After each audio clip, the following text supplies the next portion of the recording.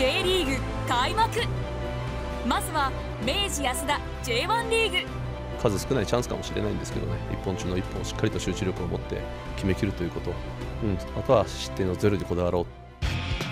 J1 初陣となった黒田剛監督率いる FC 町田ゼルビアはガンバ大阪と対戦。前半17分。このプレーが相手のハンドを誘い町田は PK を獲得これを鈴木純也選手が決め町田にとって記念すべき J1 初ゴール。しかし後半39分町田ゴール前でフリーキックのピンチ。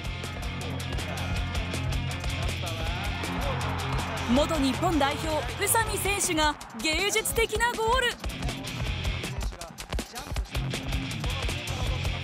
黒田監督の J1 デビュー戦は1対1のドロー。それでもオリジナル10のガンバ大阪と堂々と渡り合い J1 で初めての勝ち点を手にしました。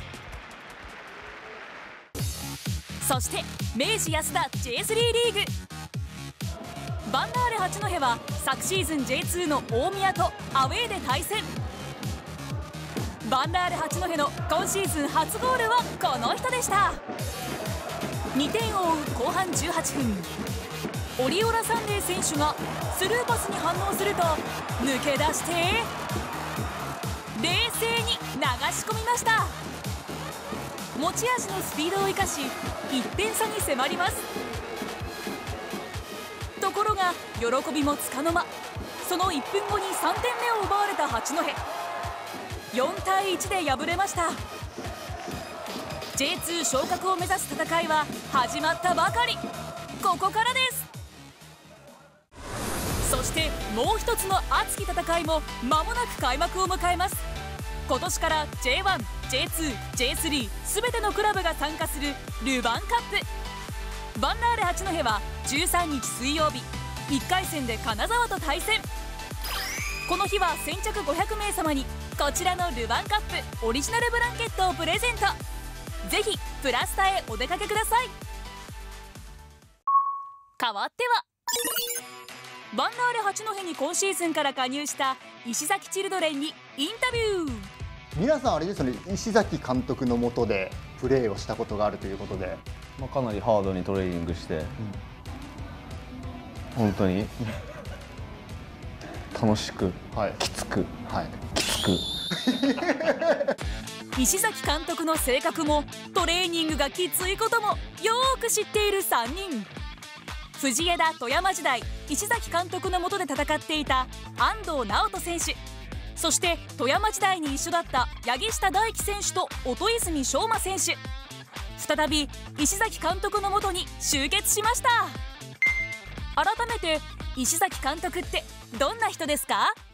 印象はすごい人柄がい。いっていうそこが一番ですね。あんまり気使わなくていいっていうか、はい、なんかほんまに監督なんかなっていうぐらいの。監督です。話しやすさとか近寄りやすさがあるいい。監督やなと思います、はい。自分はまだ全然怖いですけど。怖い、はい、ちょっとやサボろうかな思ったらもう、すぐ、うん、それサボろうとしてるからですよ。いやきついんですよ。サボってないですよ、はい、サボろうかなって思ったぐらいでもあ。気づ気づくんですまあフィジテクというものがありあるじゃないですか。皆さんもご存知だと思いますけど。体に負荷をかけながらボールをコントロールすることでフィジカルとテクニックを同時に鍛えるフィジテク。石崎監督が長年取り入れている名物トレーニングです。私も去年あの体験しました。あんなにきついと思わなくてあれをほぼ毎日のようにやられてるわけですよね今のところ。それはこうなりますよ 体のケア、はい、大事です、ね、皆さんだから一番そのフィジテク歴が長いのは安藤選手、はい、最初やった時の印象どんな感じでした？いやもうめちゃめちゃ吐きそうなぐらいきつかった ですで音泉選手は？いや最初やばかったですね、まあ、必死こいてやってたんですけど、はい、全然ついていけなくて。でまた石崎監督のいる八戸に来たじゃないですか、はい、フィジテクを求めてきたわけではない。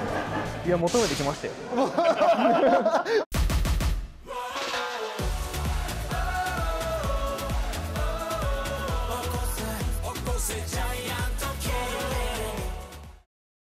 まあ、瞬間にということで、はい、あの安藤選手はどういうプレーをその私たちはこう注目して見ていけばいいのかっていうとかもちょっと聞きたいんですけど、はい、運動量の部分。走り走り続ける。走り続けると、はい、うん、どうですか？音泉選手から見て。30超えてるとは思えないぐらい、はい、必死こいて走ってます。言い方悪い悪いなお前。必死こいてとか次じゃあ柳下選手はあのこういうプレー見てほしい。こういうところ得意だよっていうのあれば教えてください。そうです。まあ対戦した相手に負けないような気迫で戦いたいなと思います。気迫というところで安藤選手から見た柳下選手どうですか？富山行く前から、はい、マッチアップ。あマッチアップはいはい。右と左なんで、はい、だからその時からもうなんかうざい選手やなと思ってましたけど。対戦相手として嫌だ、はい、もうどどどんな感じですか？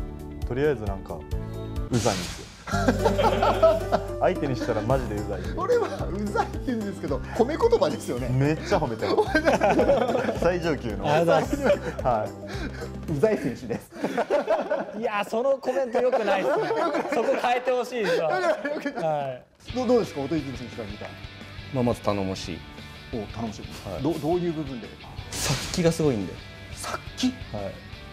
守る時の、うん、優しそうな顔だけど、はいいや優しくないです。ちょっとここ裏話あるんですけど。あなんですか？はい。めっちゃこいつ可愛いやつなんですけど、はい、2021年は3人揃って石崎監督率いる富山でプレー。その時ある事件が起こったそうです。練習中で石さんが2タッチ以上するなみたいな、はい、こいつ3タッチ4タッチしてるんですよ。まあ1回ならいいんですよ、はい、23回同じこと繰り返して。もう俺ブチギレて。まあそこでもバタルババトっちゃってちゃんとやると。でこうなんか選手こう止められて、じゃあ終わったら部屋、俺の部屋来て、コンコンと、泣きながら「すいません」泣いてない泣いて泣いてたよ。めっちゃ涙目で わ可愛いな涙目涙目ごめんなさい涙目涙目でもなんでスリータッチフォータッチしちゃうんですか？いや俺ルールはい、守れないんですよ。ルール守れない。結構悩みなんですよ。じゃあ今安藤選手どういうプレーヤーか、柳下選手どういうプレーヤーかって聞いてきましたけど、音泉選手はルール守れない選手。いや違う違う違うんですよ。ちゃんと紹介させて。もうそれで終わったからもう。だって最後に持ってきたのにやっぱり理由があるあるわけじゃないですか。やっぱ僕は聞きたいのはやっぱ、はい、情熱ドリブルって何ですかっていうのを聞きたいんですよ。それは1月の新体制発表会でのこと。えー、必殺技ありまして。えー、情熱ドリブルっていう必殺技です。これ情熱ドリブルっていうのは安藤選手と柳田選手も知ってる？知らないです。知らない。えー、えー、だってあれですよねその新体制発表の時に持ち味は？見せてくれるんじゃないですか。今今できます？もうホテル燃えていいのね 未だベールに包まれたままの情熱ドリブル。その真相はプラスタでお確かめください。バンダーレ八戸のホーム開幕戦は2週間後。くしくも3人の古巣富山と激突します。そしてこのホーム開幕戦では2つの無料招待キャンペーンが。青森県民デーとして県民限定でメインスタンド A 席に50組100名様。さらに J リーグ無料招待キャンペーンでは芝生席に500組1000名様をご招待。応募方法はバンダーレ八戸のホームページでご確認ください。最後はキッズチャレンジ。今回はドリブルタイムトライアル。ラインメール青森 FCU12 から6年生が挑戦してくれます。6年生の部はご覧のトップ3この牙城を崩すことはできるでしょうか？最初の挑戦者は鎌田則孝君日本代表を目指すディフェンダーです。絶対1位。取るぞ。よーいスタート。さあスタートしました。しなやかな動きでコーンをクリアしていきます。あと少しボールが行き過ぎてしまいました立て直して折り返し地点。後半ペースを上げたいところです。さあラストのセクション。うん少し乱れてしまいました。今ゴール。タイムはどうでしょうか？ただいまのタイム。24秒96トップ3には届かず。悔しい結果となりましたが全員が拍手で健闘をたたえます。いいチーム。次の挑戦者は海老名宗志郎くん。将来の夢はなんと裁判官。クレバーな選手です。頑張るぞ。よーいスタート。さあスタートしました。冷静に最初のセクションをクリア。スピードも出ています。折り返して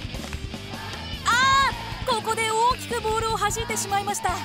急いでコースに戻って立て直します。さあラスト。うんまた少しボールが流れてしまいました。今ゴールです。果たしてタイムは？ただいまのタイム。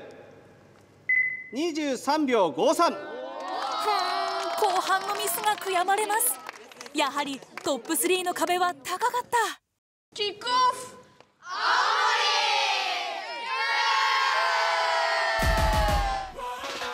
バンダーレ八戸は会場設営やチケット係などのサポートスタッフを募集しています。9日土曜日プラスタで説明会を開催。興味のある方はぜひご参加ください。